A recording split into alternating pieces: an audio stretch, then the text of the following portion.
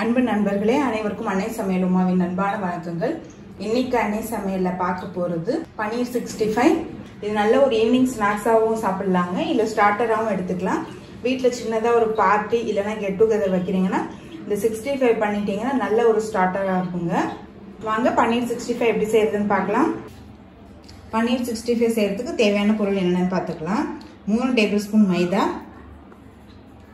ஒரு table spoon cornflour ஒரு table spoon அரிசி மாவு. அரிசி மாவு சேர்க்கறதுனால நல்லா கிறிஸ்பியாக வருங்க. அதே மாதிரி மைதா சேர்க்கறதுனால பன்னீர் மேலே நல்லா கோட்டிங் ஆகும். ஒரு டீஸ்பூன் காஷ்மீரி மிளகாய் தூள். ஒரு டீஸ்பூன் இஞ்சி பூண்டு விழுது. கொஞ்சம் மிளகுத்தூள். கொஞ்சம் எலுமிச்சை சாறு தேவையான அளவு உப்பு. இது எல்லாத்தையும் நல்லா மிக்ஸ் பண்ணிக்கலாம்.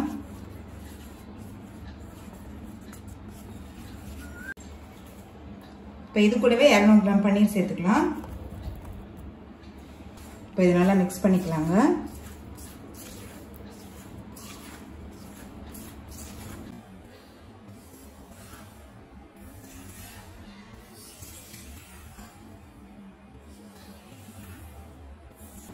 இப்போ பாருங்கள் நல்லா பன்னீரில் தண்ணி இருந்தது. அது எல்லாமே பார்த்தீங்கன்னா நல்லா அப்சர்வ் பண்ணிடுச்சு.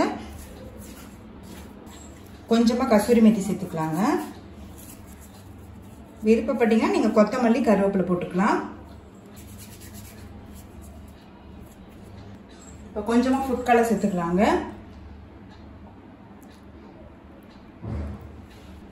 கொஞ்சம் தண்ணி. ரொம்ப சேர்க்காதீங்க.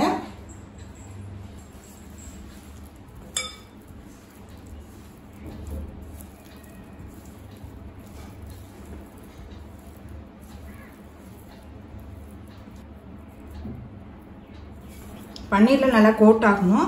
அந்த அளவுக்கு சேர்த்திங்கனாலே போதும்.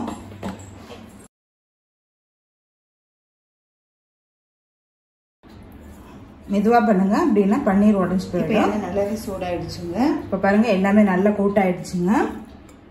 இப்போ இதை எண்ணெயில் போட்டு பொரிக்க ஆரம்பிச்சிடலாம். நம்ம பன்னீர் போட்டு பொரிக்க ஆரம்பிச்சிடலாம். ஸ்டவ்வை மீடியம் ஃப்ளேமில் வச்சுக்கோங்க.